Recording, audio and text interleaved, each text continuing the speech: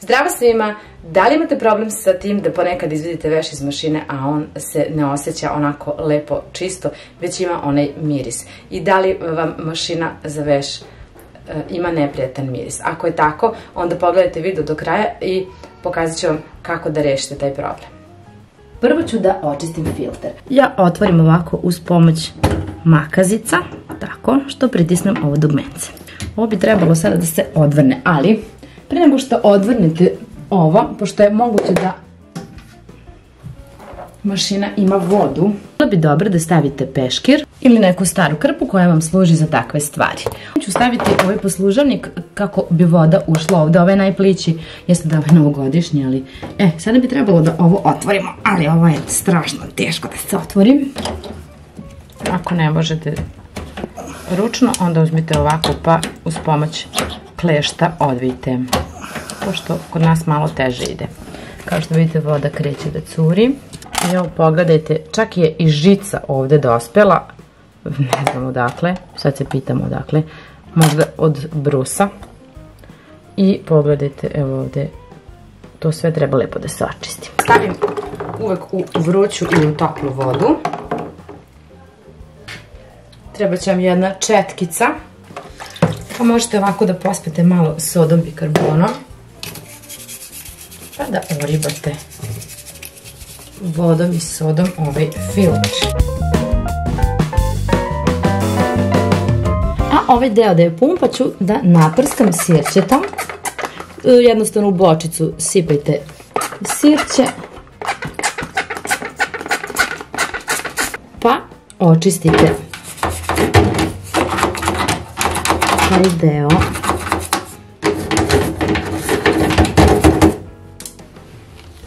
a zatim ga prebrišite čistom, suvom krpom pa vratite na mesto i zatvorite. Ovo je potrebno povremeno da radite.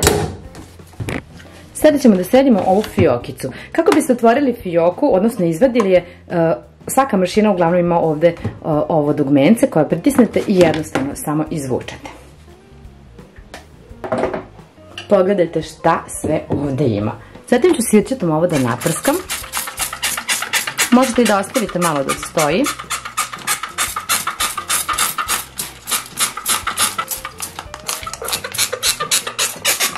A možete i odmah da očistite. Inače, kako imam bebu, ova mašina mnogo, mnogo više pere nego što je ranije. Tako da nisam imala vremena skoro da je očistim i evo pogledajte šta se tu sve nahvatalo. Dodajte sodu bikarbonom. Možda dodati neko eterično ulje, mada nema potrebe. I malo sirčika. Bilo bi dobro da sipate što topliju vodu. A zatim da stavite u posudicu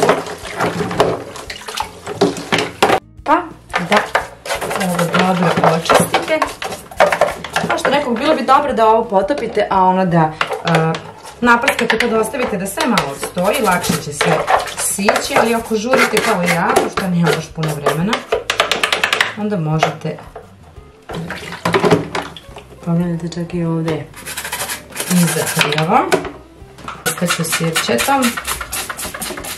Ovo sirće je zakon za čišćenje mašine. Neutrališe sve mirise i ubija bakteriju.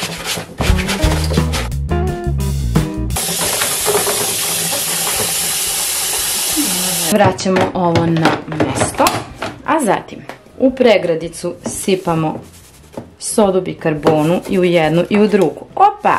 Kašika koju sam ostavila za malo da izleti. A ovde, gde ide omekšivač, ćemo da sipamo sirće.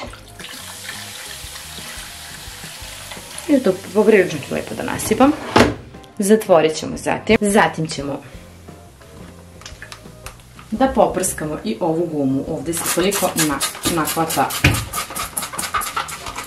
To neće sirće da pojede gumu, ne sekirajte se. Nije to kiselina, ne znam ja kakva. A i neće ovo da vam stoji. Će na tome, ne znam nija koliko dugo, već par minuta.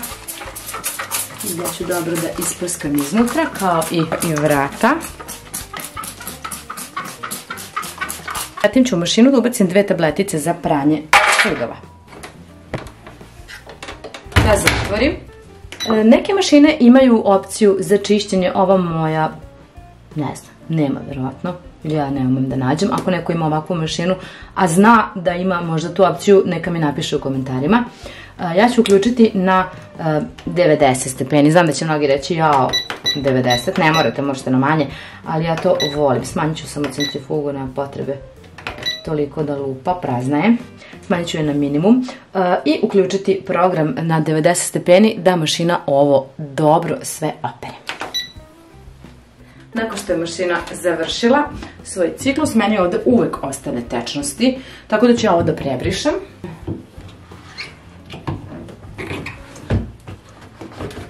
Mogu vam reći da poprilično lepo i čisto miriše.